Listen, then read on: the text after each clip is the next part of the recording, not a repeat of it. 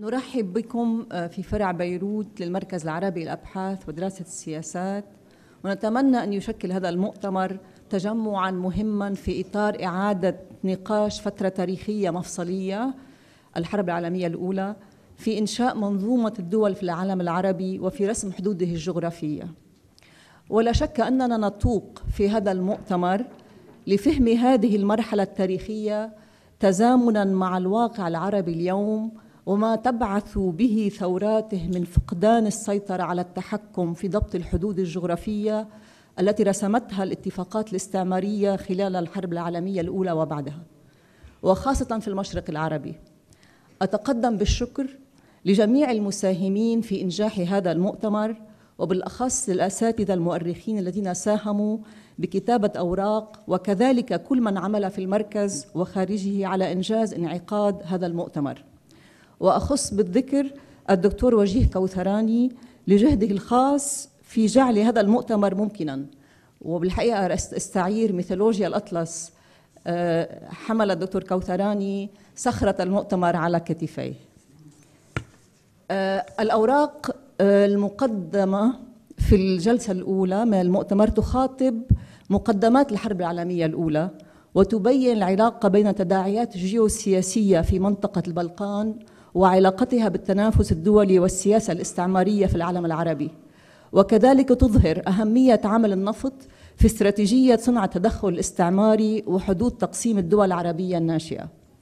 يذكرنا هذا الأمر كثيرا بما يحدث اليوم والشبه غير بعيد بين التداعيات السياسية في منطقة البلقان التي أشعلت الحرب الأولى وبين أزمة أوكرانيا اليوم وبين التنافس الدولي في المنطقة العربية في الحرب الأولى وبين استعادة هذا التنافس دوره في رسم مخرجات الواقع العربي الراهن أبان الثورات والتغيرات. الورقة الأولى بعنوان الحرب التي يمكن أن تندلع في عام 1913 الخلفية البلقانية لاندلاع الحرب العالمية الأولى. يقدمها الدكتور محمد الأرناؤوط ولا أظن أن هناك من, من هو أفضل من الدكتور أرناؤوط لتوضيح هذه الخلفية. وهو يجمع بين المؤرخ وبين الانتمائين الكوسوفي والسوري. ويعمل دكتور أرناؤوط الآن في قسم الدراسات الإنسانية في جامعة العلوم الإسلامية العالمية في عمان الأردن. واختصاصه التاريخ المعاصر والعثماني ومن إنجازاته كتاب البلقان من الشرق إلى الاستشراق. تفضل الكلمة للدكتور أرناؤوط تفضل. شكرا دكتورة أسعدتم صباحا. اسمحوا لي أولا أن أشكر المركز حقيقة على تبنيه مثل هذا المشروع المهم والذي هو كانت نواته هكذا فنجان قهوة صباحي مع الصديق العزيز الدكتور السيار في تونس الذي رفعه وبالتالي تبلور كما نراه اليوم وهذه حقيقة يحتاج إلى تحية خاصة إذا للمركز على تبنيه هذا المشروع المهم.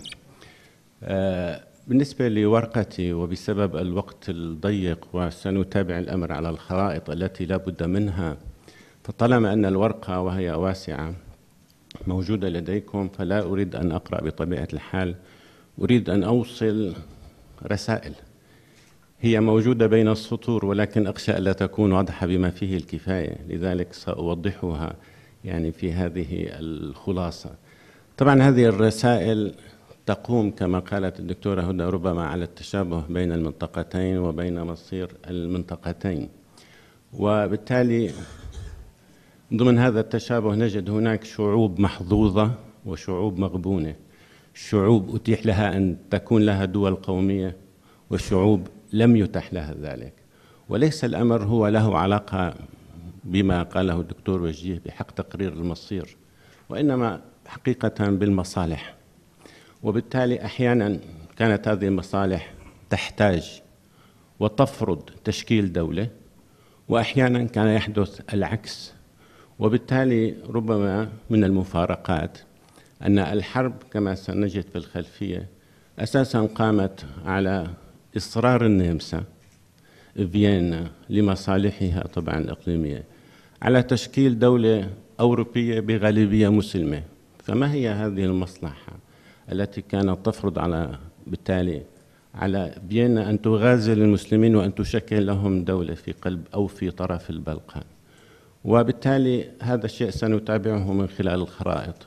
ونفس الشيء نجد بالتالي في 1999 أن الغرب يتدخل أيضا لخلق دولة ثانية بغالبية مسلمة كوسوفو. وبالتالي بالتأكيد ليس الأمر أيضا بمعنى ما هو لأجل عيون أو سواد عيون أو زرق عيون الكوسوفيين. فإذا حقيقة هذه الورقة تتناول كما قلت هذه السيرورة. إذا مسائل. كيف مثلا أن الغرب في 1918 كان من صالحه وعمل على تشكيل يوغوسلافيا التي كانت أكبر دولة آه، في غرب البلقان على حساب النمسا. وكيف أن الغرب في 1991 1992 لم تعد له مصلحة بل أصبحت مصلحته في تفتيت يوغوسلافيا التي تفتتت إلى سبع دول. فهذه ممكن أن أقول من الخلفيات من خلفيات إذا الحرب العالمية الأولى.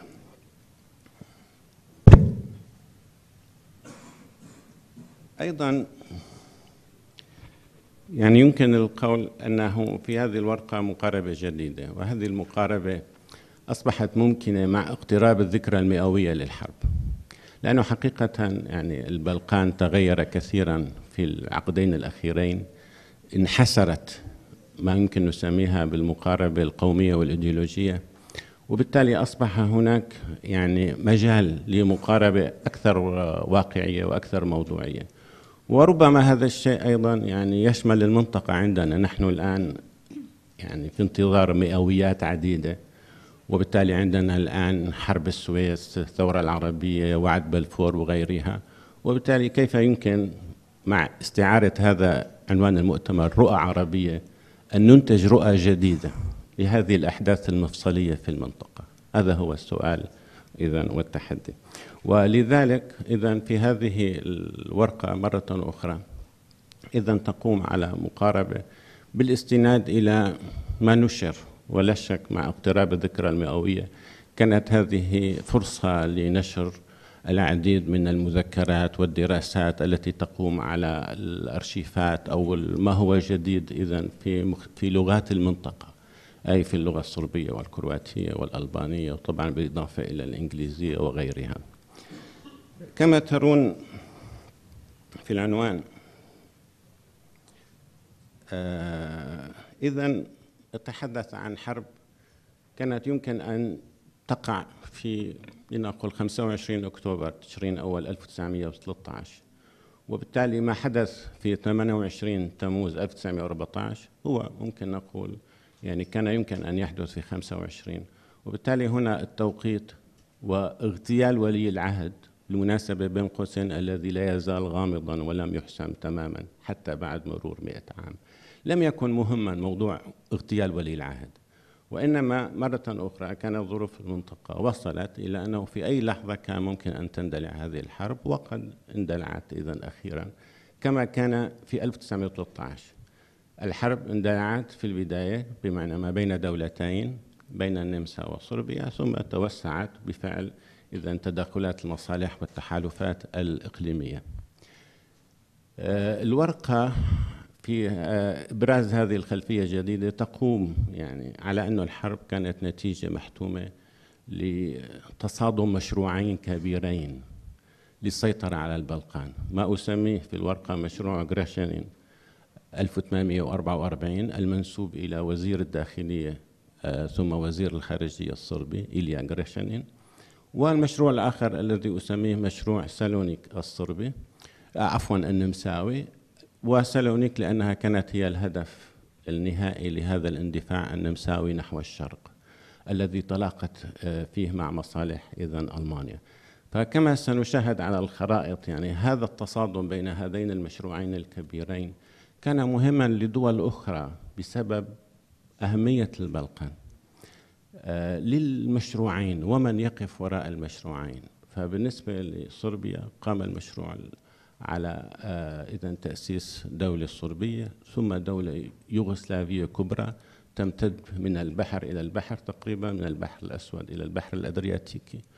وعلى حين بالنسبة للنمسا كان المشروع النمساوي للوصول إلى بحر إيجي مهما ضمن ما سمي بالإندفاع نحو الشرق لأن البلقان كان بمثابة ممر أو كوريدور ما بين أوروبا الوسطى وما بين بالتالي آه، آه، يعني المشرق ومن ثم مرورا بآسيا الصغرى ووصولا إلى بلاد الشام. فهذا كان جزء إذا من مشروع أكبر بكثير. فإذا تسمحوا لي باستعراض الخريطة الأولى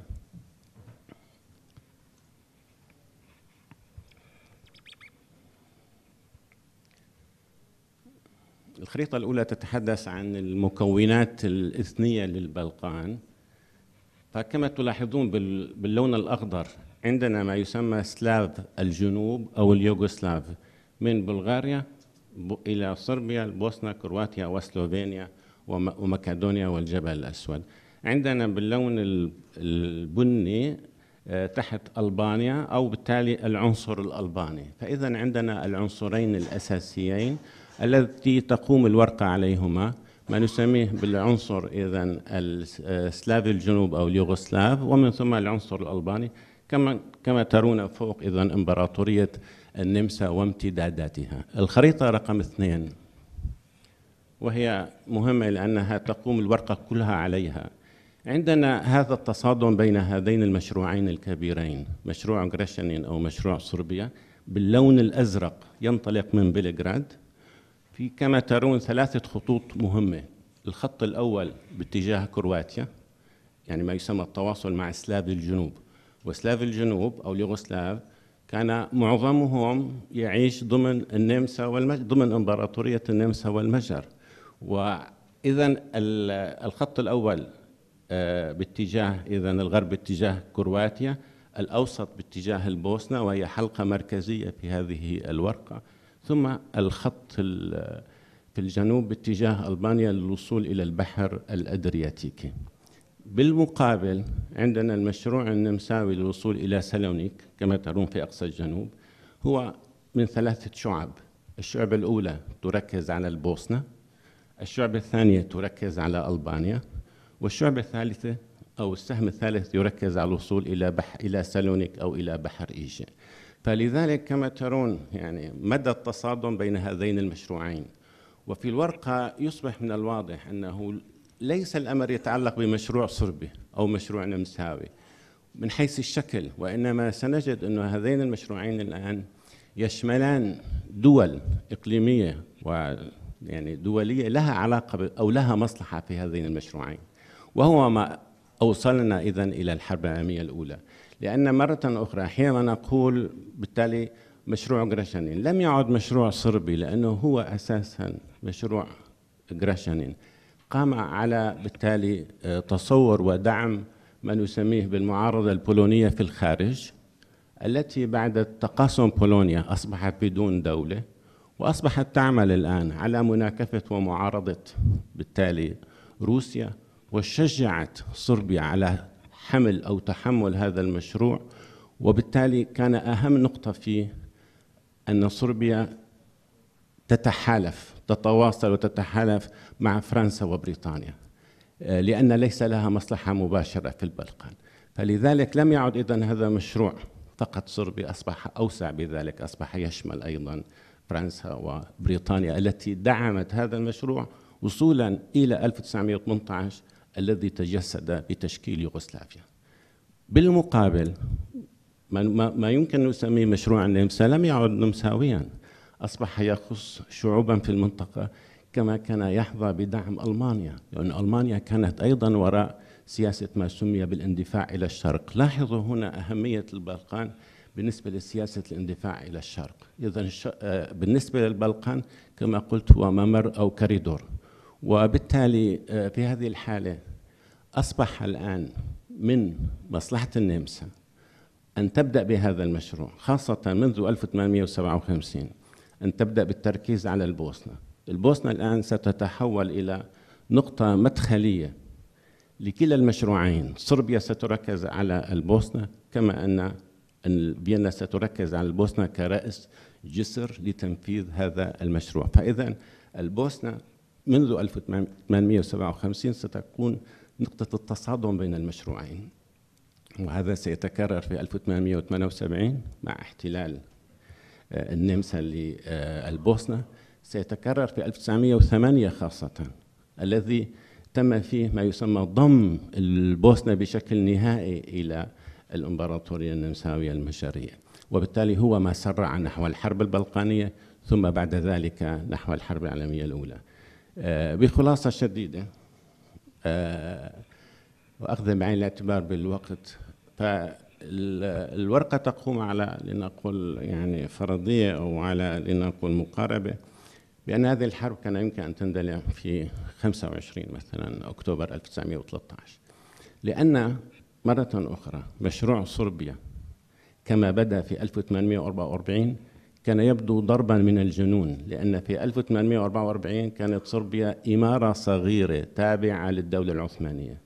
وبالتالي هذا المشروع الكبير تخيلوا في 1844 كان يفترض لكي يتحقق أن تنهار إمبراطوريتين الإمبراطورية العثمانية والإمبراطورية النمساوية وهو ما حدث في 1918 فهذا إذا مشروع كان طموحا إلى حد الجنون ولكنه تحقق بفعل العلاقات الدولية بفعل شبك مصالح صربيا مع مصالح الدول الإقليمية والدولية المعنية بتحقيق هذا المشروع. ولذلك أخذ يتصاعد وصولا إذا إلى ضم البوسنة آه، في 1908 لأنها البوسنة كما قلت كانت حلقة مركزية لكلا المشروعين. فلذلك النمسا عندما قررت في 1908 ضم البوسنة بدأ وكأنه وجه ضربة قاسمة للمشروع الصربي. صربيا ردت على ذلك بالاستعداد للحرب البلقانية التي غيرت صورة البلقان التي صربيا حققت فيها ما نسميه بالقسم الأول المشروع أي انهارت الدولة العثمانية وسمح هذا بتشكل النصف الأول من المشروع. صربيا خلال أسابيع لنقل توسعت سيطرت على مقدونيا وكوسوفو وبالتالي وصلت إلى الساحل الأدرياتيكي عبر ألبانيا. هنا أصبحت إذا إذا ننتقل للخريطة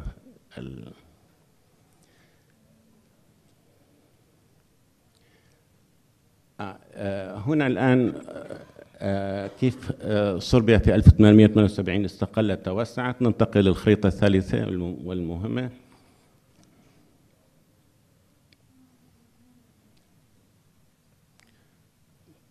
آه كمان ممكن قليلا.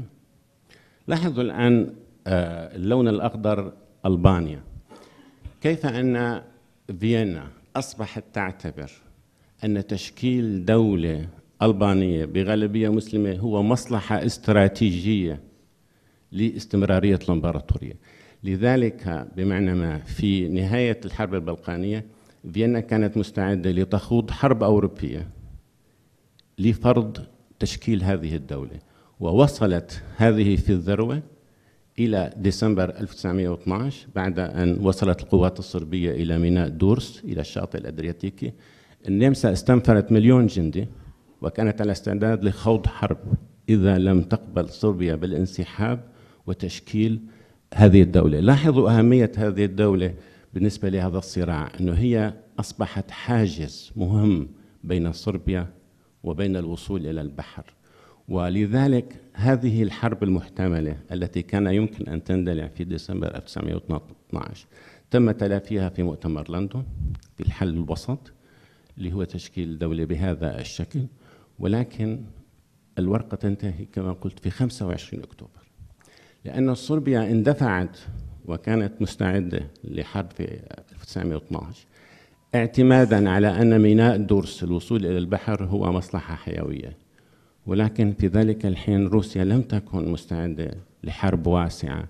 لذلك وزير الخارجية سازنوف كان في ديسمبر في في آه، في باريس وأوصل رسالة إلى بوانكاريه رئيس الحكومة آنذاك بأن روسيا ليست ليست مستعدة لخوض حرب أوروبية من أجل ميناء لصربيا على البحر.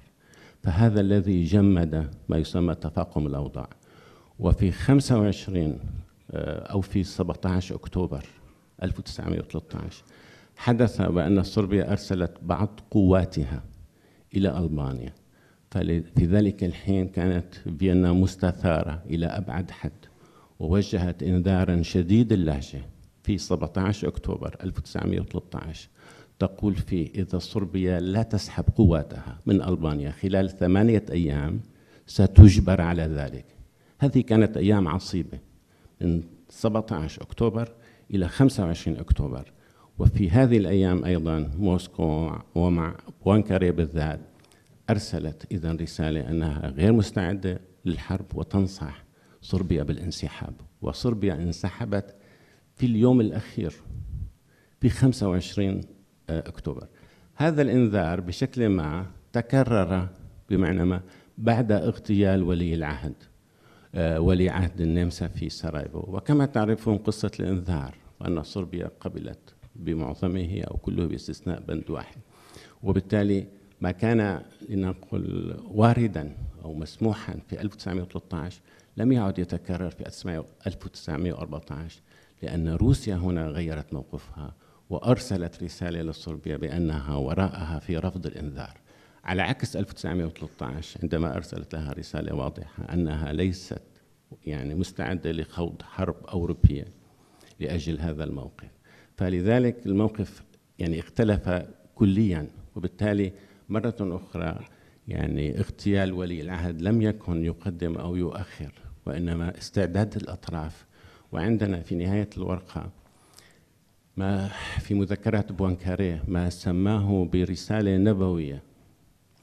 prophétique من السفير الفرنسي في باريس إلى بوانكاري يقول فيها أن النمسا إذا لا تتخلى عن مشروع سالونيك الوصول إلى سالونيك فإن حربا قريبة وسريعة لابد منها ولا بالتالي لابد لفرنسا أن أخيرا أن آه، تستعد لخوض مثل هذه الحرب مع إمبراطورية النمسا والمجر. هذا هذه الرسالة أو هذه الرؤية النبوية كما يسميها بوانكاري كانت في 4 ديسمبر 1912 فلذلك كانت الصورة قد أصبحت واضحة. هذا التصادم بين المشروعين يمكن أن يؤدي إلى حرب أوروبية. وكما تعرفون آه، ما حدث بعد رفض صربيا الإنذار أن النمسا أعلنت الحرب على صربيا. إذا هي بدأت كحرب ثنائية كما كان متوقع في 25 أكتوبر 1913 وحتى في ديسمبر 1912 ولكن سرعان ما توسعت إلى حرب أوروبية ثم إلى حرب آه، إذا عالمية عالمية أولى. وشكرا وأرجو أن لا أكون قد تجاوزت كثيرا الوقت آه،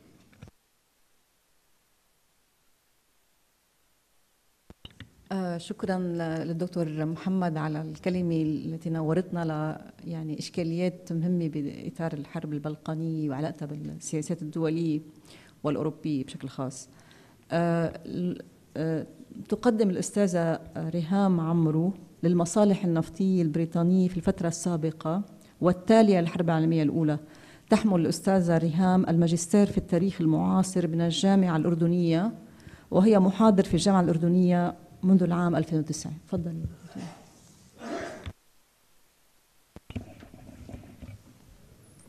أستاذ صباحا. قبل البدء بالحديث أو عرض الورقة الخاصة بي أريد أن أستذكر في هذا المقام آه، أستاذي هو أستاذ ومؤرخ في الجامعة الأردنية. سابقا هو رحل عنا في 22 شباط من العام الماضي الأستاذ الدكتور عبد الكريم غرايبي رحمه الله. في هذا المجال أو أريد استذكاره لسبب أنه كان دائما له نظرة خاصة لتصور التاريخ الشمولي للمنطقة العربية ويرى أنه لا يمكن أن نفصل منطقة عن منطقة في دراسة التاريخ أو تناول حدث من هذه الأحداث.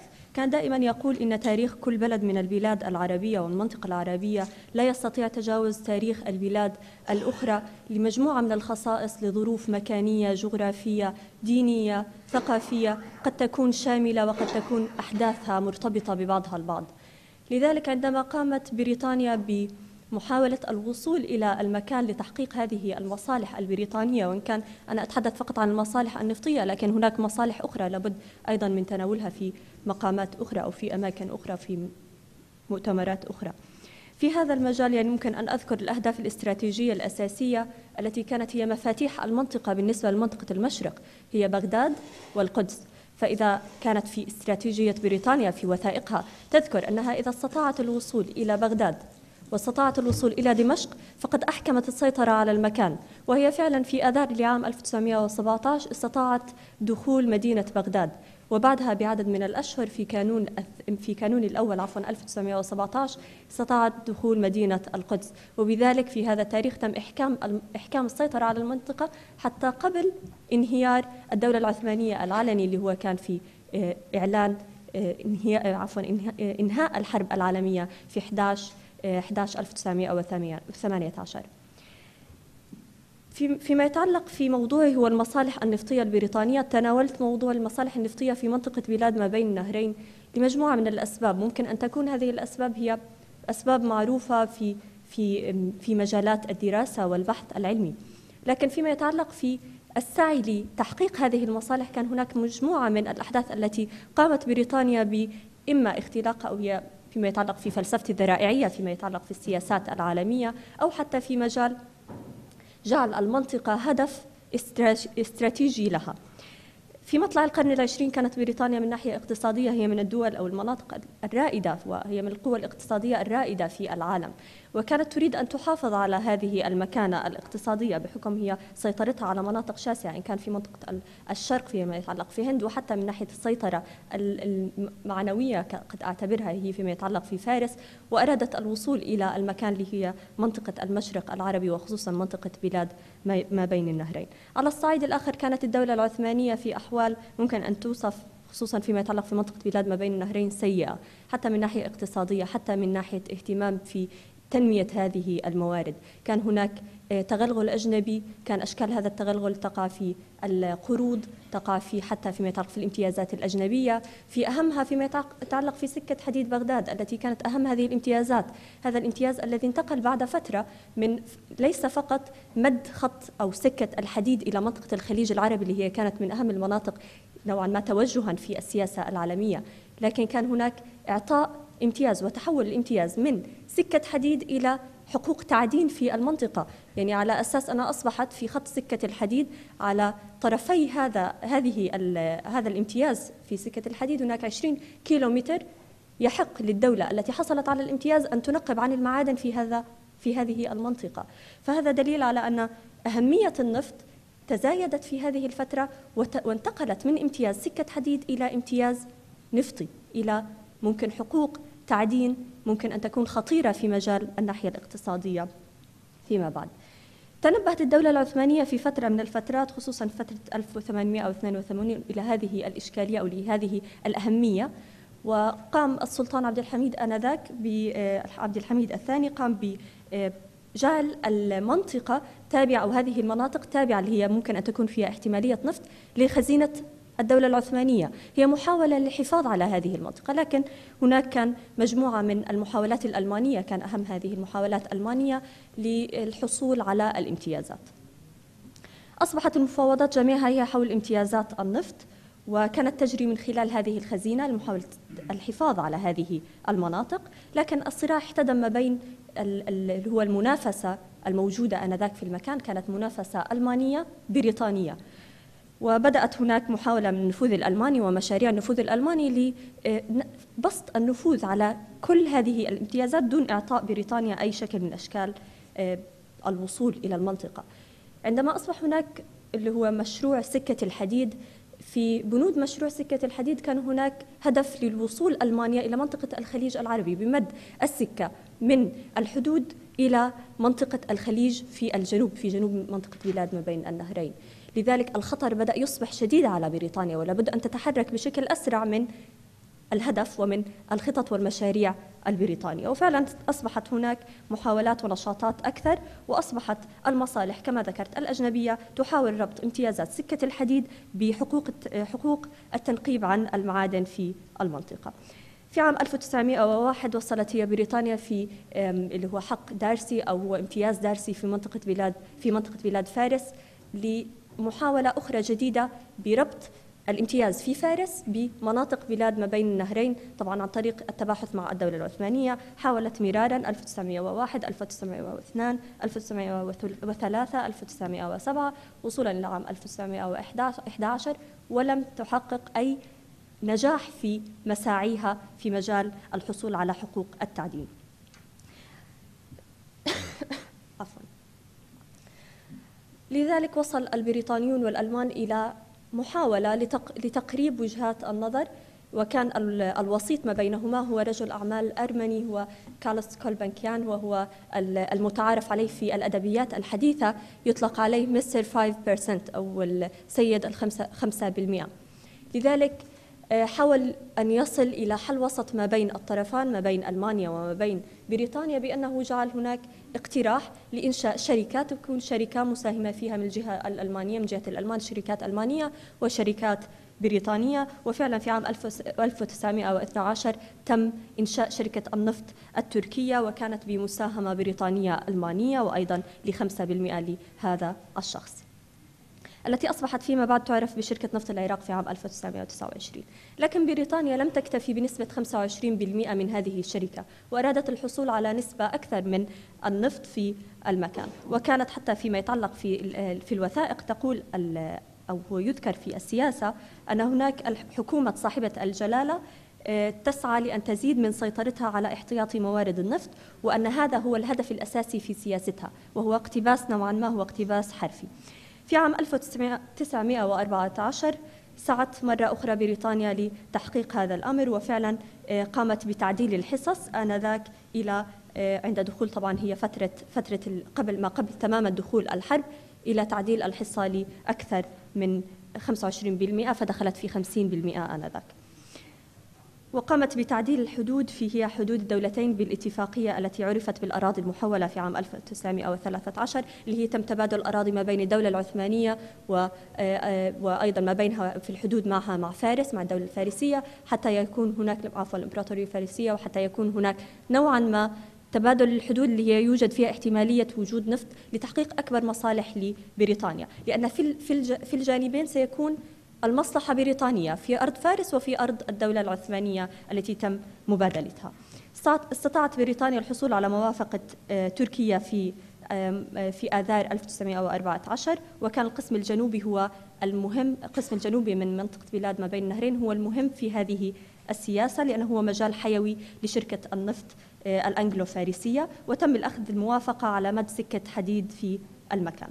بريطانيا لم تكتفي بالخمسين بالمئة ولا بأراضي المحولة وقامت بمساعيها مرة أخرى مع الدولة العثمانية لكن وجدت أنه لا مجال لتطوير أو هو ممكن أن يكون توسيع هذا النفوذ وهذه السيطرة.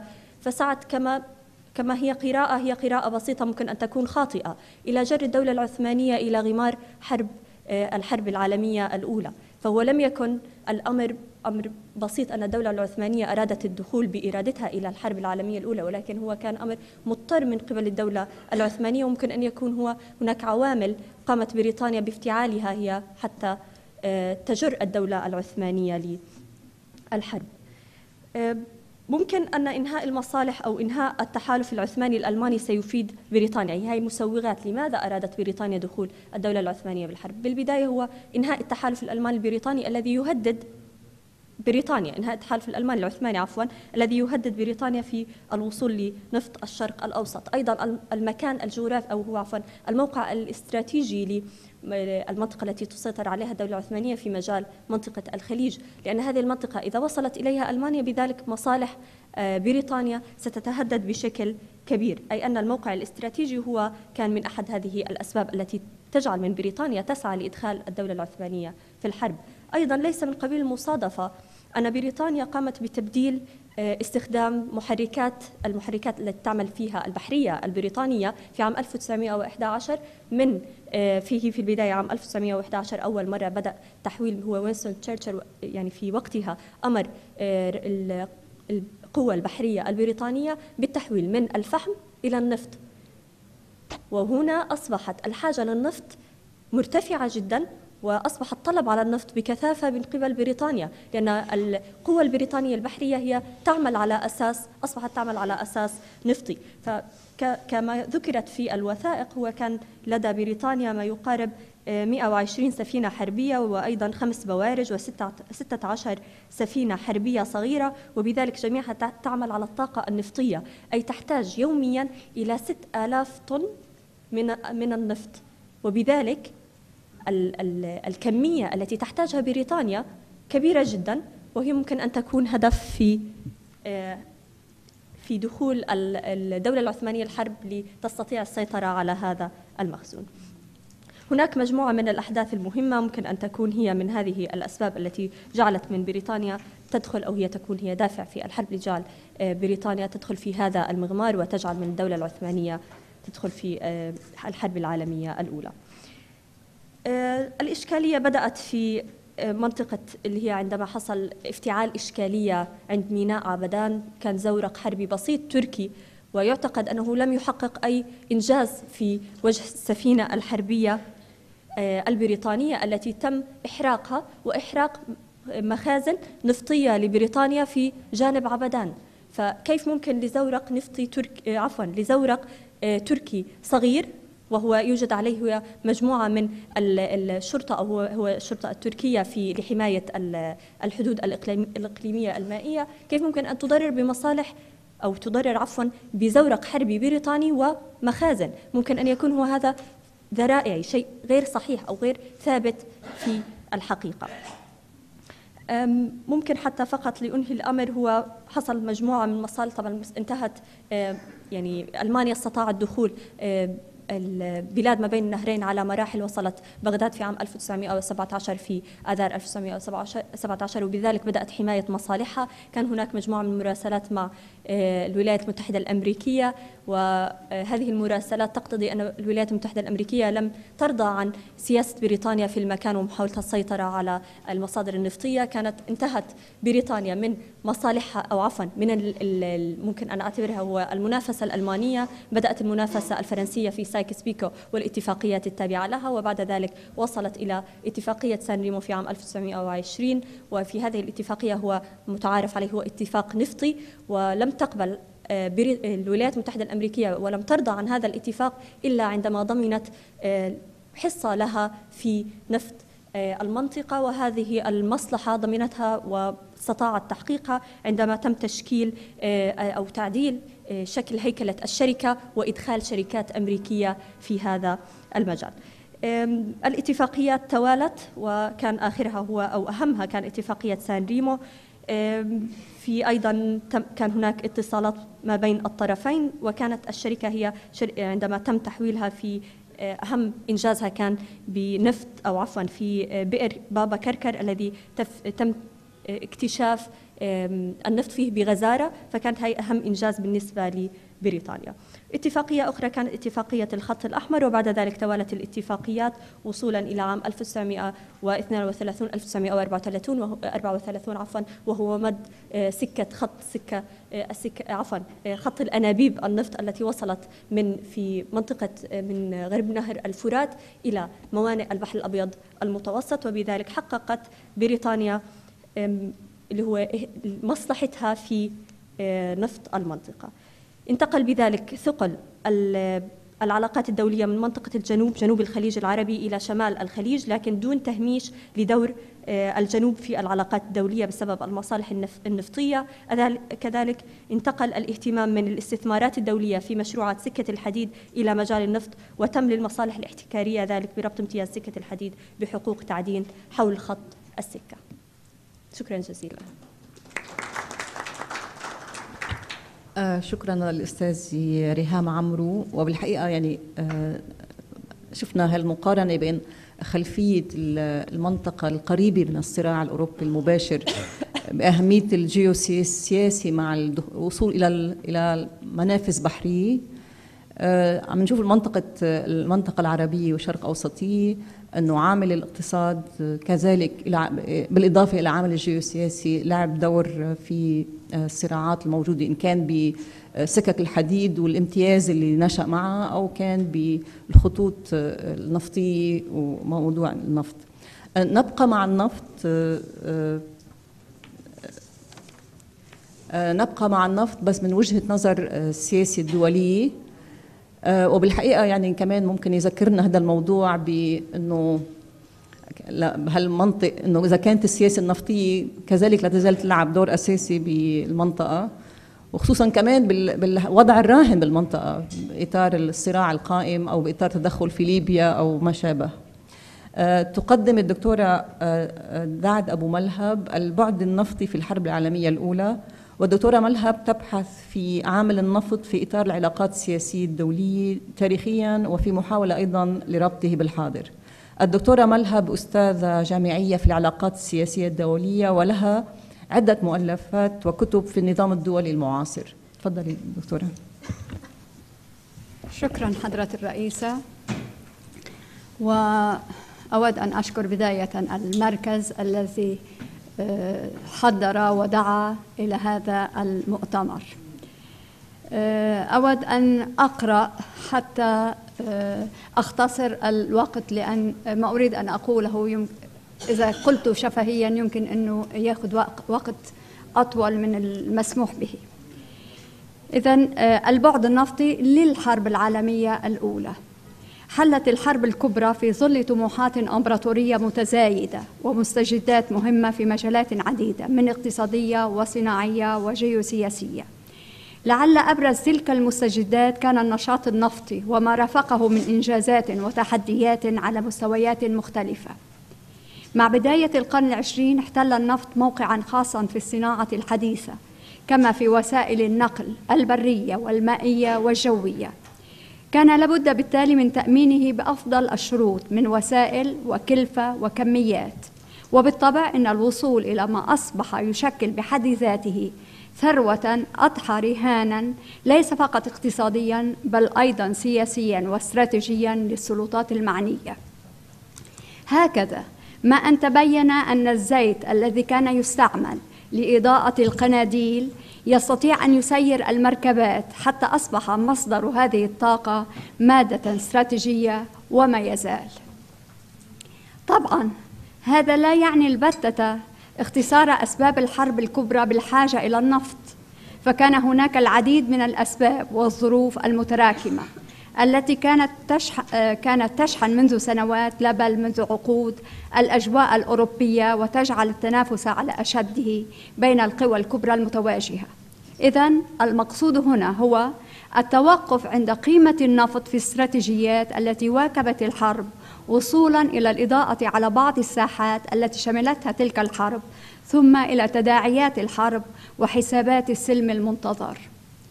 بالطبع إن التحالفات التي برزت مع إعلان الحرب على مستوى أمبراطوريات تلك الفترة كانت كفيلة بالدلالة على المدى الحيوي الذي يمكن أن يبحث عنه المتخاصمون. ولقد كان ذلك المدى الحيوي يتضمن أساسا على الأقل بالنسبة للبعض الأراضي الواعدة أي تلك التي كان يظن بأن باطنها يحتوي الزيت الأسود. طبعا بالإضافة إلى مواقع كانت قد كان قد ثبت وجود تلك الثروة فيها. بداية الخريطة النفطية والتحركات العسكرية. إن الخريطة النفطية في أوائل القرن العشرين تدل بحد ذاتها على المناطق المستقطبة لاهتمامات القوى الكبرى. فجولة سريعة على هذه الخريطة بدون خريطة طبعا فجولة سريعة على هذه الخريطة تساعد في فهم عدد من المواقف وحتى التحالفات والنزاعات منذ ما قبيل الحرب. إن النفط الأمريكي يبقى معنيا لكن من ضمن نشاط الفاعلين الأمريكيين أنفسهم وبالأخص أشهرهم روكفلر وبالطبع الحكومة الأمريكية. لكن المقصود هنا في بد... هي بداية آبار النفط العاملة خاصة في أوروبا والقوقاز. ومن ثم بالأخص نقاط مكامن النفط المفترضة بعد أي حيث بدأت تشتم رائحة الزفت أو حيث بدأت بعض الآبار تتفجر. راح أتوقف عند موضعين موقعين هن أساسيين في الحرب اللي هن رومانيا وبالقوقاز باكو يعني. في أوروبا نفسها كانت بداية في رومانيا وحقولها وأبارها وحتى مصافيها. إن اكتشاف النفط واستخراجه في رومانيا تزامن تقريبا مع اكتشاف واستخراج النفط الأمريكي. إن هو لم يسبق بقليل بعد بقول في كم سنة فرق. قبيل الحرب كانت رومانيا المنتج الرابع للنفط في العالم وكان أكبر مستوردي النفط الروماني فرنسا وبريطانيا وألمانيا. وما لبث أن أصبح هذا النفط أحد أهداف الحرب على الساحة الأوروبية خاصة مع دخول رومانيا الحرب إلى جانب الحلفاء في آب 1916 يبدو أن الملك فرديناند متأثرا بزوجته الملكة ميري حفيدة فيكتوريا ملكة بريطانيا دخل الحرب إلى جانب الحلفاء لكن سرعان ما اضطر جيشه إلى التراجع أمام القوات الألمانية. لقد كان لهذا التطور تأثير واضح على خريطة الحرب الأوروبية لجهة إعاقة, إعاقة طريق الألمان باتجاه الجنوب أي باتجاه الحليف العثماني وعبره إلى المتوسط. هكذا عند إعلان رومانيا الحرب إلى جانب الحلفاء بدأ المستثمرون الألمان الذين كانوا على ما يبدو على علاقة بالسلطات الألمانية بتدمير وتعطيل المنشآت النفطية التي يملكونها بإعاز من حكومة برلين. ثم وفي شهر تشرين الثاني عهد البريطانيون إلى فريق خاص مهمة تدمير كميات النفط الموجودة في رومانيا وتعطيل الأبار وحتى المصافي الواقعة في المناطق التي كان يخشى أن يسيطر عليها الألمان لاعتبار أن النفط كان محور الاستراتيجيه الألمانية لاجتياح رومانيا. إن مثل هذه القرارات من الجانبين لا يمكن إلا أن تدل على القيمة الاستراتيجية للنفط. بحيث إنه إن منعه عن العدو يساهم مؤكدا في تعديل ميزان القوى لمصلحة القادر على حرمان الفريق الآخر منه. فعلا إن مسألة النفط الروماني هذه تدل بوضوح تام على قيمة النفط في الحرب كسلاح عمل كل من طرفي النزاع على استعماله في استراتيجيته العسكرية وإن عبر تدميره لحرمان الخصم منه. إن النفط أصبح بالفعل الطاقة التي تحرك الجيوش والعتاد والسلاح إلى ساحات المعارك في الناقلات البرية كما البحرية والجوية ومختلف الآليات التي أصبحت قادرة على ضرب العدو أو صده على الأقل. هنا يمكن التذكير ببساطة بأول معركة حسمتها قدرة الانتقال السريع للجنود بواسطة السيارة إلى ساحة المعركة أي ساحة معركة المارن الشهيرة في فرنسا لما آه، آه، حجزوا 600 تاكسي كانت موجودة بباريس وحملوا العسكر فيها وأخذوهم على المار. القوقاز. من جهة أخرى يمكن القول أن الحرب انتهت على وقع تطورات مهمة مرتبطة بالنفط. من هذه التطورات ما وقع في منطقة القوقاز وبالأخص حول نفط باكو.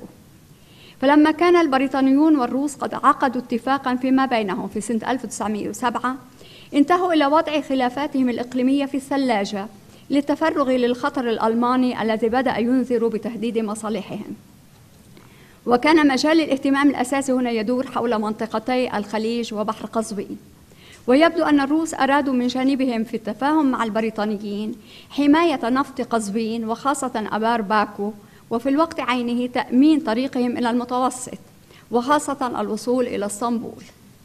فكما كان البريطانيون يهدفون إلى عدم تقاسم النفوذ في الخليج كذلك كان الروس يبغون الهيمنة على نفط بحر قزوين وإبعاد الخطر الألماني.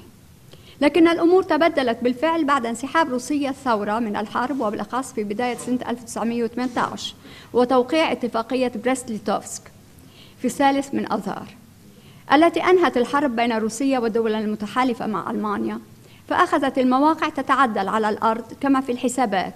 وهنا وقع الخلاف على الأقل في موضوع تقدير المصالح المتبادلة بين الألمان والعثمانيين في منطقة القوقاز حيث لم يدعم الألمان مطالب حلفائهم العثمانيين بخصوص تراجع الروس إلى حدود سنة 1914 وإذا شجع الألمان العثمانيين على التحرك في الشرق حيث نشأ جيش الإسلام لم يكونوا يقبلوا بالهدف العثماني من قيام هذا الجيش بالسيطرة على باكو أي على نفطها. بالفعل لقد أعلن الألمان نفط باكو هدفا عسكريا وبدأوا التقدم باتجاهه عبر شبه جزيرة القرم. بغية الوصول قبل العثمانيين حلفائهم وذلك بعد التفاهم مع الروس على أن تكون السيادة على المدينة روسية بينما يستغل الجيش الألماني النفط. بالنظر إلى هذه التطورات أسرع البريطانيون للوصول إلى باكو من جانبهم. آتينا من الجنوب عبر بلاد فارس لكن الغلبة كانت في النهاية لصالح العثمانيين. وإن مؤقتا حيث استطاع جيش الإسلام السيطرة على المدينة في أواسط أيلول. لكن مجريات المعارك أدت بسرعة إلى اضطرار العثمانيين للانسحاب ثم إلى اضطرار الألمان للاستسلام وهكذا فشل هذا الفريق في السيطرة على نفط باكو. أما بالنسبة لنفط منطقة الخليج الخليج فإنه كان في مقدمة الأهداف الاستراتيجية ولاحظنا بالمحاضرة السابقة هالموضوع تركز عليه يعني. إذا كان في مقدمة الأهداف الاستراتيجية بدءا من مشروع سكة حديد برلين بغداد وصولا إلى الهيمنة على النفط الفارسي والعمل على السيطرة على المناطق المفترضة غنية بالنفط انطلاقا من مياه الخليج والكويت باتجاه بلاد ما بين النهرين أو بالاتجاه المعاكس أي انطلاقا من آسيا الصغرى باتجاه الجنوب بالنسبة للفريق المقابل. النقطة الثانية النفط في الشرق الأدنى والسلطنة العثمانية. آه، ممكن يكون في تلاقي آه، في عدد من النقاط مع المحاضرة السابقة لكن ما كنت على آه، دراية بهالموضوع. لا يمكن الكلام عن الحرب الكبرى في إطار السلطنة العثمانية أو في منطقة الخليج بدون التركيز على النفط الذي كان بدون أي شك الحافز الرئيس للتحرك. على الأقل باتجاه هذه المنطقة سياسيا عبر إسطنبول أو حتى مباشرة باتجاه الحكام المحليين قبل أن تبدأ الحرب بسنوات. وهنا من المؤكد أن النفط كان في صلب المخططات والأهداف أو أقله الأحلام وبخاصة النفط بلاد ما بين النهرين وبلاد فارس. وبالطبع منطقة الخليج عموما. وفي مطلق الأحوال إن لم يكن النفط بعد في صلب استراتيجيات الكبرى إنه بلا شك ما لبث أن أصبح محركا محوريا لها لهذه الاستراتيجيات ما أن بدأت الحرب لأنه أصبح محرك الآليات العسكرية الواعد بالنصر والعظمة. آه، رح آه، أتوقف عند بريطانيا من جهة ألمانيا من جهة ثانية والسباق إلى النفط. بدأ الاهتمام مع بريطانيا بدأ الاهتمام البريطاني مع شراء ويليام دارسي. والهون بدي آه، شير لنقطة أنه المشروع هو مشروع ويليام دارسي بالأساس. بعدين بريطانيا استحوذت عليه. إذا بدأ الاهتمام البريطاني مع شراء ويليام دارسي من الشاه في سنة 1901 امتياز التنقيب عن النفط واستخراجه من كافة الأراضي أراضي بلاد فارس فيما عدا المناطق الحدودية مع روسيا. لقد نقب فريق دارسي لسنوات طويلة عن النفط قبل أن يتفجر في سنة 1908 متحولا بعد سنوات لصالح الأمبراطورية البريطانية والشركة الإنجليزية الفارسية. وكان البريطانيون قد تنبهوا باكرا إلى المخاطر المحدقة بمصالحهم الجيوسياسية المتمحورة بداية حول مستعمرتهم الهندية والمهددة لمصالحهم الاقتصادية في السلطنة العثمانية وفي منطقة الخليج.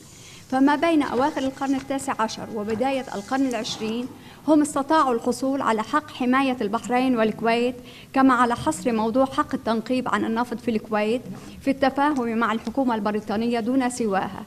إن البريطانيين بدأوا بدوا الأكثر اهتماما بنفط المنطقة في تلك الفترة هذا مع الإشارة إلى أنه في أيار 1914 حصلت الحكومة البريطانية على ملكية 51% من أسهم شركة النفط الإنجليزية الفارسية. هكذا يمكن اعتبار موقف وينستون تشرشل. أمام مجلس العموم البريطاني قبيل الحرب الكبرى بمثابة إدراك مبكر لا بل هو كان استشرافا لأهمية النفط في الحياة العصرية للبشرية. وقد يمكن اعتباره بمثابة إنذار لما سيكون عليه النفط مستقبلا وما ستكون عليه السياسات النفطية للدول. إنه كان بالفعل سباقا في استيعاب قيمة الطاقة الجديدة ومصادرها بالنسبة لمستقبل بلاده أولا على الرغم من كونه لم يكن أول مسؤول بريطاني فهم قيمة تحويل الأسطول البحري من الفحم إلى النفط. لكن تشرشل هو الذي عمل بكل قوته لتحقيق هذا الإنجاز الذي تبين بالتالي أنه كان صائبا خاصة وأن الألمان كانوا قد بدأوا بهذه العملية قبله. ففي تموز سنة 1913 قال وزير البحرية تشرشل أمام مجلس العموم ما معناه بدون النفط لا تستطيع إنجلترا الحصول على الذرة ولا على القطن ولا على أي مادة ضرورية لتسيير اقتصادها. يجب أن تسيطر الأميرالية على النفط في منبعه. يجب أن تكون قادرة على نقل وتصفية النفط. وبالفعل ما لبثت الحكومة البريطانية أن اشترت 51% من أسهم ما أصبح الشركة الإنجليزية الفارسية ليصير بإمكانها التحكم بالنفط الفارسي كما صار عليها حمايته أثناء الحرب وبعدها حفاظا على هذه المصالح. إذا عشية الحرب الكبرى كان البريطانيون قد أمنوا مصالحهم في منطقة الخليج وفي حماية طريق الهند من الجانب الروسي كما أكدوا نفوذهم النفطي. لكن في الوقت نفسه كانت القوة الكبرى الصاعدة في أوروبا الأمبراطورية الألمانية. قد بدأت تشكل خطرا داهما على مختلف هذه الأصعدة أو الجوانب من خلال تلك العلاقة الوطيدة مع إسطنبول, إسطنبول والامتيازات المسجلة لمصلحتها. بالنسبة لألمانيا أن القيصر غليوم الثاني استطاع, أن يبني علاقات مميزة مع السلطان العثماني وهذا كان يعني استراتيجيا تأمين الظروف للوصول إلى تحقيق المدى الحيوي لأمبراطوريته المحصورة في أوروبا. بين قوى كبرى لها امتداداتها العالمية عبر البحار والقارات من خلال مستعمراتها ومناطق نفوذها الاقتصادي والثقافي والسياسي. الأمبراطورية الحديثة أصبحت بحاجة إلى مكان تحت الشمس. هالعبارة مشهورة جدا. فكانت الأمبراطورية العثمانية المتهاوية أفضل مجال للعمل على تأمين هذه الفرصة خاصة وأن الصناعة الألمانية بحاجة إلى أسواق وبالأخص هي أصبحت بحاجة ماسة إلى مصدر الطاقة الحديث. وألمانيا كانت تعتمد حتى ذلك الوقت على النفط الأمريكي عبر شركة روكفلر ستاندرد أويل إلى جانب النفط الروماني. أعطى اكتشاف المحرك العامل بقوة اشتعال داخلية ذاتية الصناعة الألمانية دفعا كبيرا. وكان قد ساهم في تطويره المهندس الألماني جوتليب ديملر الذي صنع السيارة الرباعية الدفع قبيل نهاية القرن التاسع عشر. لكن يبقى الأهم في ذلك كون هذا التطور منح الأمبراطورية الألمانية فرصة لمزاحمة القوى الأخرى وبالأخص الأمبراطورية البريطانية ليس فقط صناعيا واقتصاديا لأن لهذا التطور أبعادا جيوسياسية واستراتيجية واضحة. إن تطوير الأسطول الألماني الحديث من جهة وإمكانية إنجاز خط الحديد الذي يصل ألمانيا بالخليج أصبحا يشكلان تهديدا ليس فقط للمصالح البريطانية في المنطقة إنما هما يعنيان تهديدا استراتيجيا جيوسياسيا للأمبراطورية البريطانية في العالم. السباق إلى النفط. وخاصة إلى منابعه كان واقعا بشكل خاص في هذا الإطار بين البريطانيين والألمان أي في صلب استراتيجيتين عظميين لابد من أن تتصادما خاصة في الشرق الأدنى حيث جيولوجيا تؤكد غنى المنطقة بالنفط عصب الصناعة الحديثة والاقتصاد المتطور والنفوذ الواسع. فما أن أعلنت الحرب حتى بدأ الصراع البريطاني العثماني في بلاد ما بين النهرين وما لبث أن قهر العثمانيون في ربيع سنة 1916 القوة البريطانية الآتية من الجنوب باتجاه بغداد بعد حصار قاتل في كوت العمارة جنوب بغداد. كان البريطانيون يحاولون الوصول إلى بلاد ما بين النهرين والسيطرة عليها قبل العدو الألماني الذي كانت الدلائل تشير منذ فترة إلى اهتمامه هو أيضا بنفط المنطقة. إن امتياز خط سكة الحديد باتجاه بغداد لصالح الألمان كان يعني بالنسبة للبريطانيين إضافة إلى خطورة وصوله إلى مياه الخليج وتهديد طريق الهند هيمنة ألمانية على نفط بلاد ما بين نهرين. آه، إن ذلك الامتياز نص على حق الألمان في الإفادة من الثروات الموجودة في الأراضي الواقعة على طول الخط لمسافة 20 كيلومترا من الجانبين مثل ما ورد. إن الأمر أصبح إذا حتميا بالنسبة للبريطانيين بعد أن تفجر نفط دارسي في بلاد فارس سنة 1908 ووضعت الحكومة البريطانية يدها عليه. والاهتمام الألماني بالعراق كان يتمحور بالأخص حول ولايتي الموصل وبغداد حيث كانت دلائل جدية تشير بوضوح إلى وجود كميات كبيرة من النفط. ويبدو هنا أن السلطان العثماني عبد الحميد كان يفضل ألمانيا على سواها من الأوروبيين المهتمين بالاستثمار في السلطنة إذ إنها كانت برأيه الدولة هذه استشهاد الدولة التي يمكن الاعتماد عليها أكثر من غيرها بشأن الخطوط الحديدية لأن المسألة كانت تهم تهمها من الناحية الاقتصادية والمالية فقط يعني ما كان يخاف منها استعماريا للتذكير فقط إن الأمريكيين كانوا قد استبعدوا من الساحة النفطية العثمانية على الرغم من إقدام المسؤول في السفارة الأمريكية في إسطنبول شيستر كولبي على الاتفاق مع السلطان على شراء حق أو امتياز التنقيب. آه، النقطة الأخيرة الحرب والنفط سلعة ووقودا وآلية ونزاعا. إذا اتخذ النفط أبحاثا جديدة لا سابق لها في تاريخ البشرية مع الحرب وما لبث أن تحول إذا مع اندلاع الحرب إلى سلعة استراتيجية محورية بالنسبة للسياسة الدولية وحاسمة بالنسبة لمصير الأمم. هكذا أصبحت الحرب للمرة الأولى في التاريخ مؤللة تتحرك وتشتعل بقوة النفط وأجريت بعض الدراسات الإحصائية حول الكميات الآليات فالإحصائيات بتدل على أنه بالفعل الأرقام كانت مرتفعة جدا لإنتاج السيارات والناقلات والطائرات خلال سنوات الحرب خدمة لحاجات الحرب؟ أخيرا الولايات المتحدة الأمريكية. هنا لابد من التوقف عند مسألة هامة جدا تقع في صلب مسار الحرب من بدايتها حتى نهايتها إن مسألة التموين بالنفط أثناء سنوات الحرب. ومحاولات الحصار أو قطع الطرق على الإمدادات النفطية وهي عمليات تقع في صلب الحرب لما أصبح الحصول على الكميات الضرورية من النفط للجيوش آه، ضروريا. ولما كان الممول الأساسي هو الأمريكي روكفلر إذا كان لابد من العودة إلى سياسته وسياسته كانت بكل بساطة تموين المشتري ألمان آه، أو بريطانيين أو فرنسيين إلى آخره. لكن بخصوص الانجرار الأمريكي إلى الحرب فالانجرار هو مرتبط بشكل وثيق بموضوع النفط. إذا آه هذا الانجرار ليس بعيدا كل البعد عن المسألة النفطية فمحورية النفط أو الأحرى الحاجة إلى النفط لتحريك الجيوش والسلاح جعل من قرار الحظر البحري الكامل الذي أعلنته ألمانيا بمثابة إعلان الحرب على السفن الأمريكية المحايدة أصلا. كذلك فسر الأمريكيون ذلك الحظر بأنه اعتداء على قانون حرية الملاحة في البحار والمحيطات. وإذا لم يتحرك الأمريكيون عندما قتل عدد كبير من مواطنيهم سنة 1915 آه، على آه، باخرة بريطانيين مدنيين أصبحت في خريف سنة 1917 المبررات كافية للذهاب إلى الحرب وأن السفن التي استهدفها قرار الحظر هي بمعظمها آتية من الولايات المتحدة الأمريكية محملة بسلع أمريكية مختلفة وعلى رأسها النفط لتموين الدول الأوروبية وإن كانت بريطانيا من ضمنها أصلاً. لكن ذلك الحظر لم يكن السبب الوحيد طبعا فيذكر في هذا المجال تأثير المراسلة الشهيرة بين وزير الخارجية الألماني و الحكومة المكسيكية اللي كانت تدعي المكسيك تدعو المكسيك لدخول حرب مع الولايات المتحدة الأمريكية. أه، بتصور هالنقطة الأخيرة ما أه، ما اكتملت لكن راح أتوقف وأعطي الخاتمة لأن ما بقى في وقت. إذا كان البحث في صيف سنة 1914 عن مكان تحت الشمس الهدف الألماني الرئيسي للذهاب إلى الحرب ومن ضمنه طبعا النفط بالمقابل يمكن القول وفي حال السماح لأنفسنا. بحصر هذا النزاع الدولي بين قطبي الفريقين أي بريطانيا وألمانيا يمكن القول بأن بريطانيا ذهبت إلى الحرب بالأخص من أجل النفط. لكن لابد من القول أيضا أن مختلف القوى المعنية بالحرب أرادت الحصول على هذه الثروة الواعدة بالنصر والغنى والتقدم والسلطة وإن بنسب وبربما بطرق مختلفة نوعا ما أو في ظروف متفاوتة.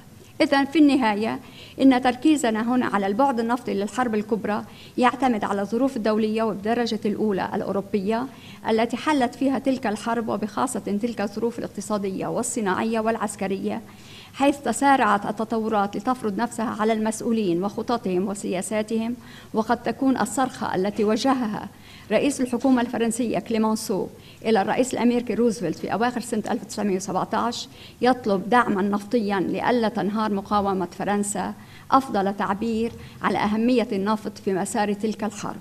ولقد أصاب فعلا اللورد كيرزون البريطاني عندما أكد أن النفط شكل عصب الحرب في مقولته الشهيرة إن السير نحو النصر تم على بحر من النفط وشكرا.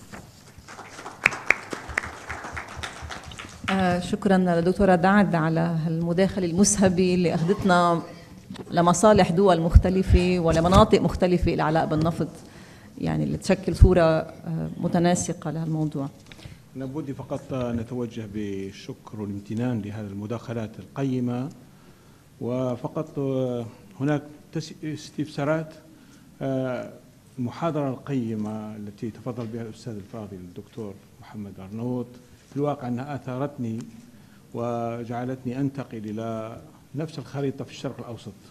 فإذا هناك قومية صربية مركزية لم تحقق هدفها وأدت إلى ظهور مسألة البلقانية فهل هناك إتمام للدراسة ونقل نوسع الشيمة نحو الشرق الأوسط حيث لم تحقق القومية العربية في إطارها الأدبي وغياب المفهوم الاستراتيجي والذي انتهت إليه إلى هذه المشكلة التي نعيشها اليوم والتي هي مفتوحة على رهانات قد نقول بأن هناك العهد العربي قد انتهى في هذه المنطقة لفائدة قوميات أخرى وهذا ما يؤسف. فبودي أن تكمل الدراسة في هذا التوجه. كذلك أقدر البحثين الهامين للدكتورتين. فقط أذكر بأن هناك مصادر أساسية للمسألة النفطية. لا سيما في فهناك عدة عشرات من التقارير الفرنسية. فبودي لا أتساءل للدكتورة الأخيرة. هل هناك مذكرات بلدة الذي رصدت استغلال النفط؟ ثم هناك مراسلات قنصلية. لا سيما المراسلة الخاصة في تسعة في شهر عشرة في سنة 1914 و 15 حول البحث مع أنابيب النفط واستغلال النفط عندما تقدمت القوات البريطانية من الكويت وتوقفت في القرنة في الهجوم الأول ثم تعرضها في الحصار في كوت العمارة. فهناك تقارير فرنسية في الأرشيف تبحث المسألة النفطية وكيف استغل النفط وإمكانية النفط وانعكاساته. فبودي مثلا ربما هذه الأشياء لأن في الكويت وقع الآن إحصاء دليل رسمي لجل جميع الأرشيف الموجود النفطي وغير النفطي. وهناك قد ترجمت الوثائق الموجودة في النفط. فبودي ربما حتى نبتعد عن النظرة العالمية للنفط ونركز على الخليج. فلا أتساءل هل هناك رجوع إلى هذه المصادر لاستكمال الصورة لتأثير النفط من واقع التقارير السرية حول النفط العربي وكيف استخراجه لا سيما في جنوب العراق. شكرا. مع تقديري للبحث وامتناني لهذا العمل العلمي القيم. شكرا. شكرا لك كمان. آه الكلمة للأستاذ آه نور الدين سنيو. تفضل. نعم أجدد شكري أيضا للمتدخلين وفي الحقيقة أنا أريد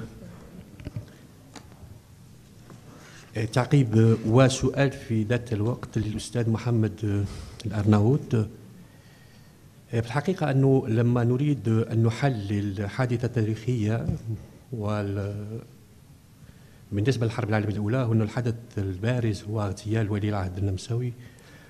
في 28 جوان 1914 هذا يعتبر آخر حدث بالنسبة لمسار التطور التاريخي لما نرجع إلى الأحداث التي يعني سبقت هذا الحدث هناك حدث أيضا وقع في منطقة المتوسط اللي هو اغتيال جون جوريس الزعيم الفرنسي في 1914 أيضا. كان ممكن أيضا أن نعتمد هذه الحادثة لكي نقول أنه مسار السلم أو مفاوضات السلم انتهت بقتل هذا الزعيم. نرجع أيضا بالنسبة تسبيب الحرب بمعنى ما هي الأسباب الحقيقية التي أفضت إلى هذه الحرب. نوجد فعلا مثلا منطقة البلقان في أزمة أولى وفي أزمة ثانية.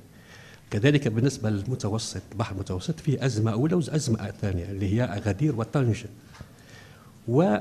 وقوه المنطقة أيضا لها تعبر أيضا على أنه مسار التاريخ الأوروبي آيل إلى الحرب. لما نقرأ المسار منطقة المتوسط وهذا مهم جدا. يعني حضرتك آه، اكتفيت فقط بأنه منطقه البلقان فقط وكأنها هي حصر التي آه، أشعلت نار الحرب العالمية الأولى.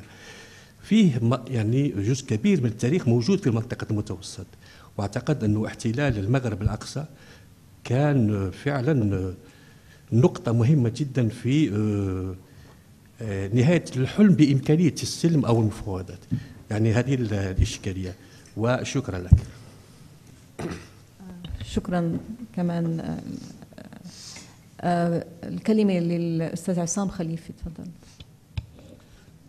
شكرا حضرة الرئيسي من موقع التقدير للأبحاث المقدمة لسؤال للدكتورة دعد آه، أبو ملهم عطلة من نقطتين النقطة الأولى شكل تقاسم نفط موضوعا أساسيا في مفاوضات سارمو نيسان 1920 وقد تم التوصل إلى اتفاقية بين فرنسا وبريطانيا في هذا المجال. يعني ثاني نقطة كان هناك تأثير واضح للنفط على تعيين وترسيم حدود الدول في المشرق. هل يمكن توضيح هذين الأمرين؟ شكرا. آه الكلمة الآن آه، للأستاذ آه، للدكتور عفيف رزق. دكتور محمد حضرتك حضرتك قلت إنه أسباب الحرب العالمية الأولى كانت مصالح وغيره. ألم يلعب آه، العامل الديني وخصوصا بين الدول الأوروبية آه، دور معين ما في نشوب هذه الحرب؟ وشكرا. شكرا للأسئلة. رح نفتح باب للرد من قبل المحاضرين ونستقبل مجموعة جديدة من الأسئلة بعد الرد. يعني. دكتور أرناؤوط تفضل. آه، شكرا للزملاء لأنهم حقيقه أيضا نبهوني إلى نقاط أخرى هي موجودة في الورقة ولكن على الأقل كان لابد أن تطرح ضمن يعني تقديمي يعني. آه، أبدأ على يعني من من الأخير مع شكر الدكتور عفيف يعني هو لا شك آه، هذا موضوع مطروح. وربما يعني الجديد ضمن هذا التشابه بين المنطقتين بين البلقان والمشرق وسأعود إلى الدكتور نور الدين هو ما أسميه بتوظيف الإسلام بتوظيف الدين. لا أريد أن أقول أكثر من ذلك يعني. وبالتالي أنه تصادف أن هذه المنطقة المتنازع عليها في مسلمين. فلذلك لابد من سياسة لنقل إسلامية أو سياسة تجاه هذين أو اتجاه هؤلاء المسلمين. فلذلك ضمن المشروعين اللذين تحدثت عنهما كان هناك ما ما يمكن أن نسميه سياسة إسلامية للمشروع الصربي وسياسة إسلامية للمشروع النمساوي. السياسة الصربية يعني أو السياسة السياسة الإسلامية للمشروع الصربي نجدها واضحة باتجاه البوسنة لأن كما قلت البوسنة كانت حلقة مركزية لكلا المشروعين. كانت هي رأس جسر بالنسبة للنمسا. وكما شاهدنا على الخريطة لا يمكن نتخيل المشروع الصربي بدون البوسنة. فلذلك نجد مثلا ضمن هذه السياسة الإسلامية لبلغراد أن بلغراد قامت مثلا في 1890 بأول ترجمة يوغوسلافية للقرآن الكريم مثلا الانفتاح على المسلمين ولذلك كانت أول بادرة من نوعها. ولكن ربما مشكلة أو خطأ لنقل هذه السياسة أنها اعتبرت المسلمين هم صرب مسلمين. فلذلك على حين أن المسلمين عندهم هوية إثنية وقومية يسمون حالهم البشناق و فلذلك ربما هذه كانت نقطة خاطئة أو نقطة الضعف يعني بالمقابل بمعنى ما نجد أيضا في السياسة الإسلامية لفيينا طالما أنها بدأت في البوسنة أيضا انفتاح على المسلمين وبناء مدارس بناء كلية شرعية لا تزال حتى الآن في قلب سراييفو على النمط الأندلسي الآن في عندنا في في مركز سراييفو ما نسميه بالقسم الأندلسي الذي قامت فيه فيينا كما قلت بإنشاء مشاريع كبرى على النمط الإسلامي الأندلسي وغير ذلك. فإذا لا شك يعني الدين أيضا كان له بالتالي يعني لنقول مكان في هذا الصراع بين هذين المشروعين. وخاصة ما كما قلت ما أسميه بكيفية التعامل مع مع المسلمين وكيفية توظيف الإسلام. يعني هذا الشيء يبدو بشكل أوضح طالما الآن عندنا وقت أكثر. يبدو مثلا في الحرب العالمية الأولى أعطيك مثل ربما يهمك. مثلا إيطاليا مثل تركيا في الحرب العالمية الثانية كانت مترددة مع أي طرف تذهب للحرب. هذا تأخر حتى 1915 في معاهدة أبريل نيسان 1915 السرية الحلفاء تبثق ذهنهم عن مشروع عظيم ما يسمى تشكيل إسلاميك ستيت أوف ألبانيا طبعا المشروع الأساسي النمساوي كان ألبانيا متنوعة بغالبية مسلمة. هذا المشروع الآن إسلاميك ستيت أوف ألبانيا بحجة أو باسم الدين هو إعادة تشكيل ألبانيا ووضعها تحت الإدارة الإيطالية كثمن لدخول إيطاليا للحرب إلى جانب الحلفاء. نفس الشيء هذه الورقة لعب فيها موسوليني فيما بعد مع احتلال إيطاليا وبالتالي نجد أن هذه السياسة أثمرت. أنه يصدر في تيرانا كتاب يعني خلال الاحتلال الإيطالي بعنوان الإسلام والفاشية.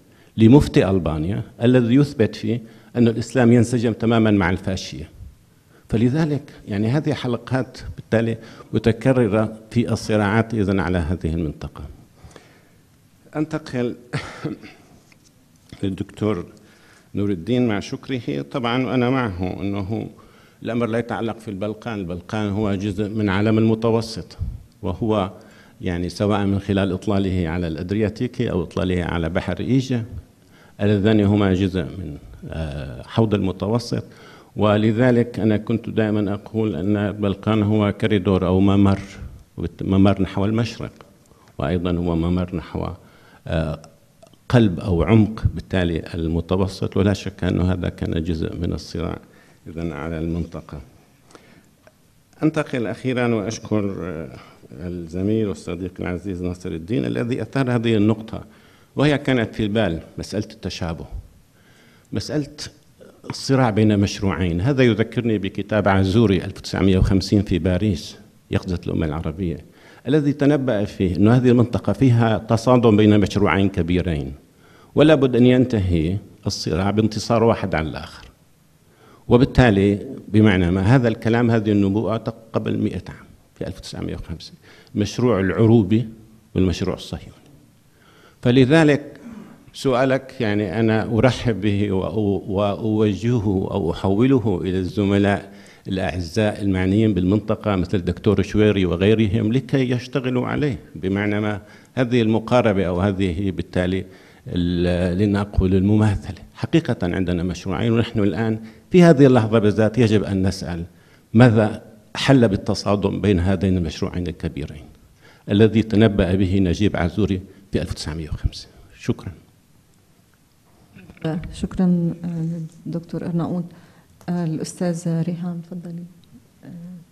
الأسئلة إذا في أسئلة. وكان السؤال سؤال الدكتور ناصر فيما يتعلق في الأرشيف أو الوثائق الفرنسية الموجودة في الكويت. المترجمة في الكويت. أنا لم أطلع على هذه الوثائق لحد الآن. يعني هو أنا أركز فيما يتعلق في دراستي أو في هذه في هذه الورقة على وثائق بريطانية وأمريكية. أما الفرنسية للأسف لم أطلع عليها بسبب صعوبة اللغة بداية ولم أعرف أنها مترجمة. إن شاء الله ممكن أن يعني أتفادى هذه الإشكالية بأن أطلع عليها في الوقت القريب إن شاء الله. شكرا جزيلا على هذه الملحوظة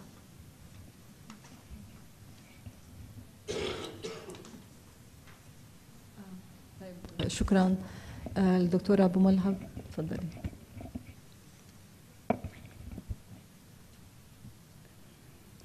في عندي ملاحظة يمكن صغيرة على السؤال والجواب اللي أعطي آه، أخيرا.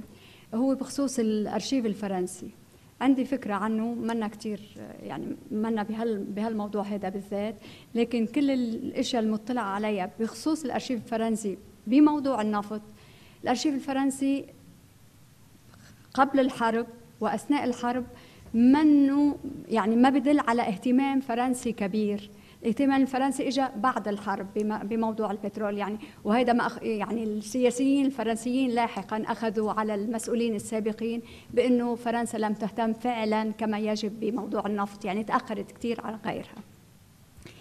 بالنسبة لي الملاحظتين يلي آثارهم دكتور خليفي آه، آه، لمحاضرتي هي بموضوع مفاوضات سان ريمو أصلا أنا محاضرتي توقفت فيها على سنوات الحرب ولم أصل إلى ما بعد الحرب يعني توقفت فقط يعني خصصها لسنوات الحرب. طبعا مفاوضات سان ريمون هي المفاوضات اللي الكل بيعرفوا إنه تخصصت بشكل خاص لموضوع النفط ومشاكل النفط بعد الحرب. وبدي بالمناسبة بدي أشكر أمام الجميع دكتور خليفة أنه أمني مؤخرا بس طبعا بعد ما عملت هذه الدراسة أمن لي النص الأساسي الرسمي لي حول موضوع النفط في مفاوضات سان ريمو وإن شاء الله في آه، مناسبة آه، قادمة آه، رح أعمل هالدراسة بناء على الأوراق اللي أعطاني إياها دكتور خليفي. النقطة الثانية اللي أثارها دكتور خليفي بتصور أنه هو اليوم رح يهتم بموضوع الحدود في المشرق. ويبدو إنه عنده شيء مهم حول تأثير النفط في في هالمسألة. على كل الاحوال بالنسبة ل يعني طريقة طرحي للموضوع ما كان له علاقة بهال يعني بالمواضيع المحلية الموضعية.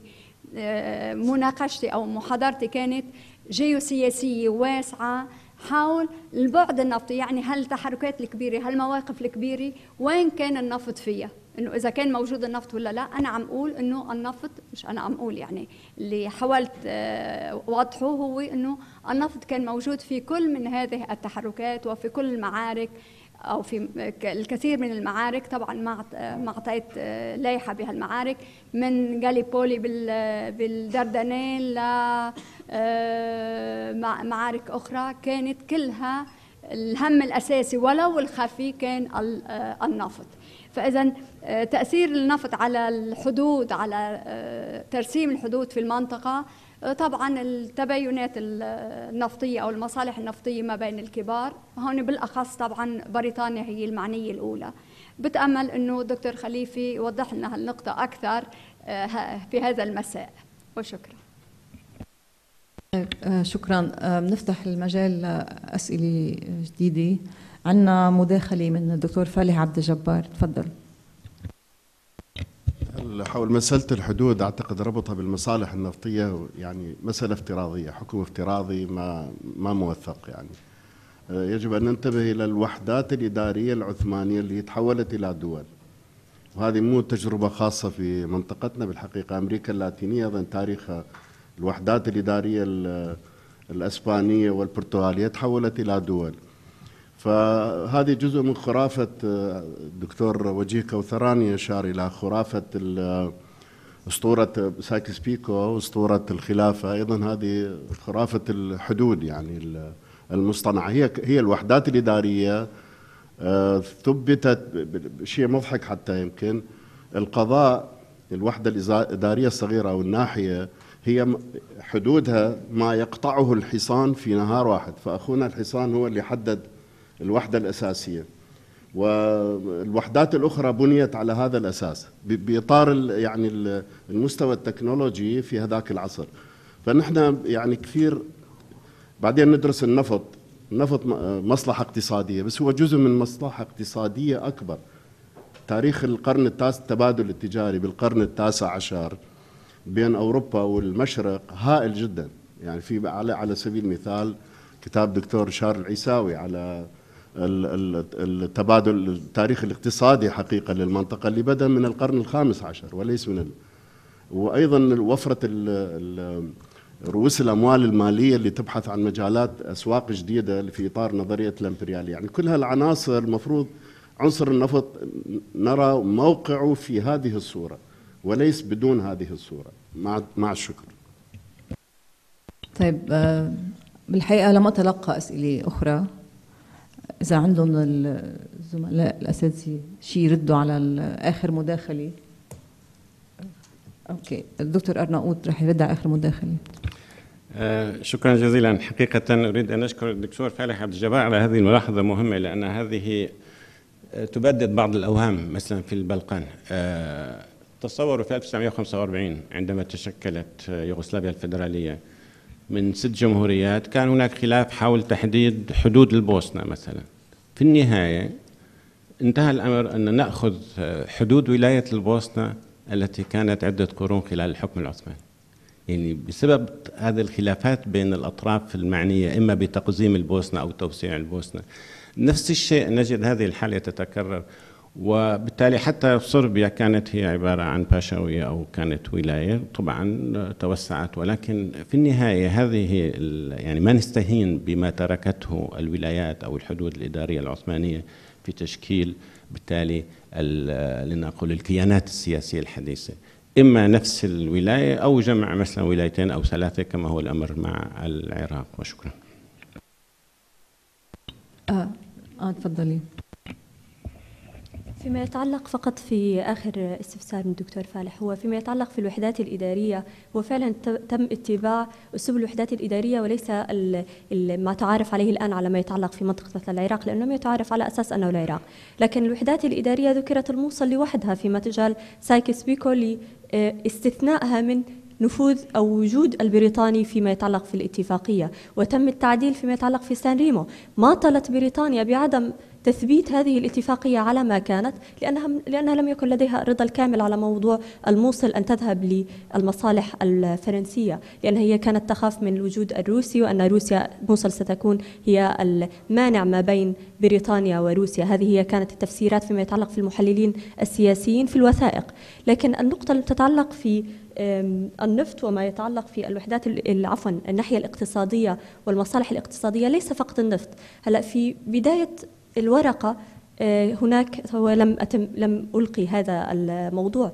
لكن تحدثت عن الاقتصاد بشكل عام تحدثت عن السلع تحدثت عن الأسواق تحدثت عن النواحي آه، التي ستستفيد بريطانيا فيها من الوجود في المكان. وشبهت الأمر بأنه خط جديد. نحن لدينا في التاريخ لدينا خط البخور خط الحرير وأصبح كما أطلقت على هذا الموضوع أنه أصبح خط النفط. يعني الأمر أصبح متطور. المصلحة الاقتصادية استمرت. لكن اختلفت السلعة مع بقاء الأهمية الاستراتيجية هي نفسها. وما سبق لم يتم إلغاؤه الأهمية السابقة لكن أضيفت أهمية جديدة وهي أهمية النفط. فصحيح دكتور 100% أن السلع أو أهمية الأهميات الاقتصادية الأخرى أيضا واردة في المكان وليس فقط النفط. شكرا جزيلا. آه عفوا معلش نعتذر. في سؤال كمان ما زال عندنا وقت متاح. آه مداخلة مفتوحة لدكتور سيمون عبد المسيح. تفضل. في إطار يعني الحديث عن الحدود. وقيام الدول بالواقع اللي انتصر بعد الحرب العالمية الأولى ما يسمى يعني المبدأ الويستفالي أوروبا حاولت توسيع هذا المبدأ باتجاه قيام دول على أساس توازنات وعلى أساس سيادة الدولة وكيسنجر في كتابه الأخير النظام العالمي يتحدث عن هذه المسألة ويبدو أن هذا المبدأ الويستفالي يتعرض الآن لعملية تدمير كبيرة. شكرا.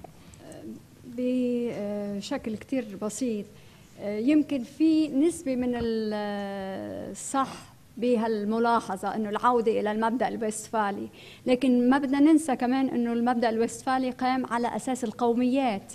فهل مسألة الحدود بالمنطقة والتقسيم قام على هالأساس أيضا. فهون بشك نوعا ما بهال شكرا لكم.